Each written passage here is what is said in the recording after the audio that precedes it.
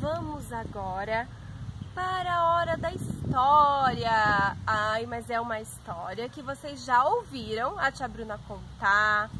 Vocês já levaram para casa o livrinho, estão lá, estão aí com vocês o livrinho da história.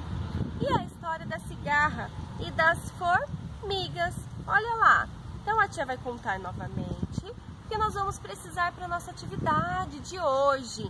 Então, vamos começar? Prestem atenção que a tia vai recontar a historinha para vocês, tá bom? Olha lá. Era uma vez uma cigarra muito da esperta que adorava, ó, cantar. Ela passava o tempo todo lá em cima da árvore cantando e cantando e cantando. Enquanto isso, lá embaixo ficavam, ó, as formiguinhas pra lá e pra cá, pra lá e pra cá. E aí, a curiosa cigarra perguntou, né? Formiguinhas, que tanto vocês fazem?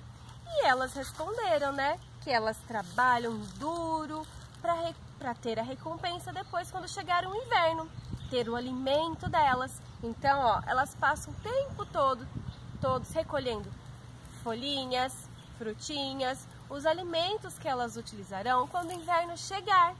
E aí, e elas passam o tempo todo trabalhando.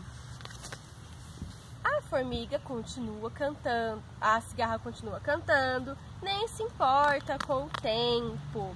Mas o tempo foi passando, foi passando e foi chegando, ó, outono. A estação foi mudando, a temperatura foi diminuindo, foi ficando diferente, mas mesmo assim ela não se importou.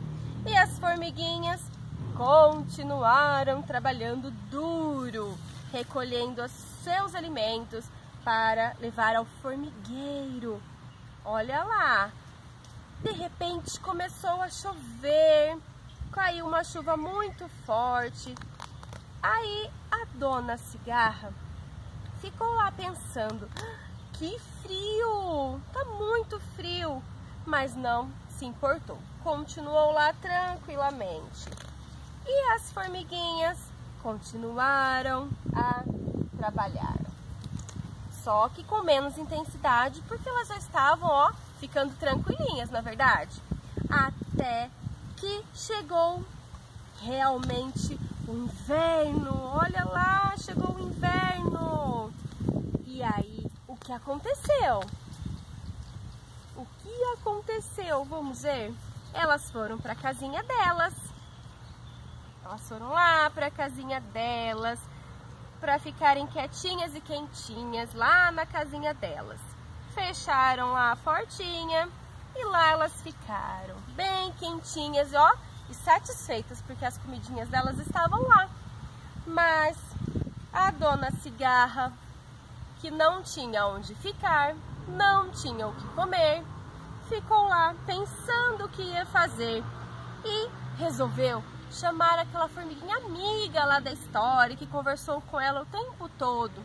Resolveu bater lá na portinha do formigueiro e pedir ajuda. Elas abriram a portinha, viram que a cigarra estava lá, falaram para ela: "E você que cantou o tempo todo, agora que dance, na é verdade?" E ela lá tremendo de frio. Elas fecharam a portinha de novo, resolveram conversar para ver o que, que elas decidiam e tiveram uma ideia. Pensaram, né? Bastante e conversaram com a cigarra. Dona Cigarra, vamos fazer um combinado.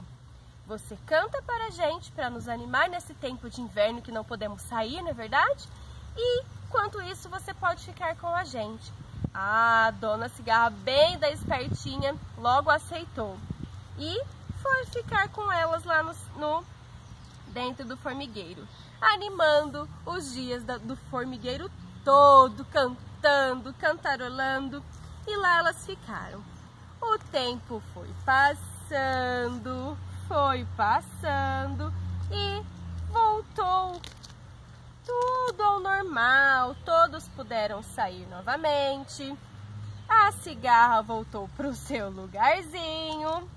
As formigas continuaram trabalhando e assim continuou a vida delas. E a cigarra aprendeu alguma coisa? Hum, o que vocês acham? Será que ela aprendeu alguma coisa com tudo isso? Pensem aí e depois falem para tia.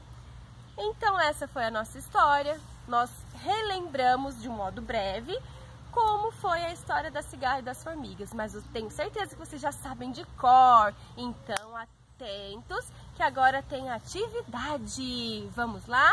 Tchau!